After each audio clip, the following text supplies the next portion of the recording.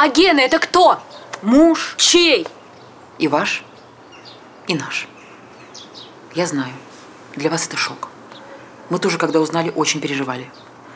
Но раз ваше имя есть в списке, оно, кстати, особо отмечено, значит, вы тоже, как и мы.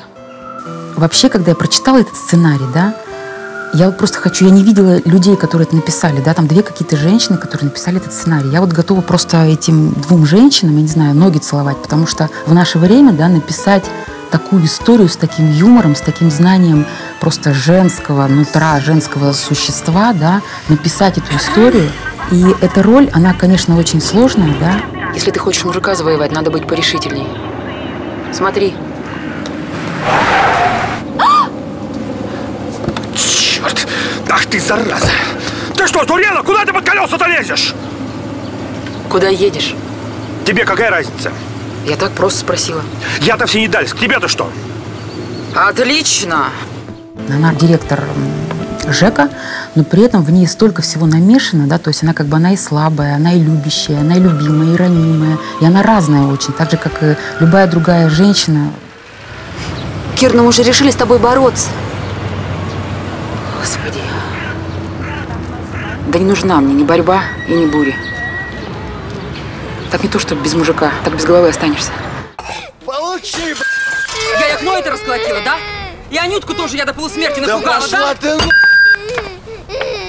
Давай, давай еще стул, расколоти! Зазернение происходит, это внутри где-то, да, то есть ты, конечно же, ищешь в себе. Это все, когда ты в кого-то влюбился так здорово, когда ты там кому-то позавидовал, а когда ты вот как бы вы- вы- выкарабкивался из этого состояния, да, Сейчас. Я... Я тут и деньги принесла, чтобы вы не бесплатно, получше его защищали. Вы хотите ему помочь? Так ведь дочь у нас. Актерская профессия, э, она разная. Она и женская, она и мужская, потому что сейчас так мало мужчин настоящих. Мужчина должен быть в профессии. Э, Так же, как и в женщине, должны присутствовать обязательно мужские какие-то железобетонные качества, обязательно. Это у вас тут что, с Куликовской битвы висит? А? Такие агрегатики уже 20 лет как с производства сняты. В курсе? Вы мне средства на новые выделили? Ах, ты про средства заговорил! Отлично! Давай разговаривать про средства. Должна быть обязательно железобетонная стена, которая в нужный момент поднимается, и ты как бы становишься мягким, ранимым как бы для образа, да, если это нужно. А в нужный момент она хлоп и опять закрывается. Куда? Стоять. В театре как-то вот я не позволяла, вот, то есть как бы муж, актер уже достаточно для начала. Вот. А на съемочных площадках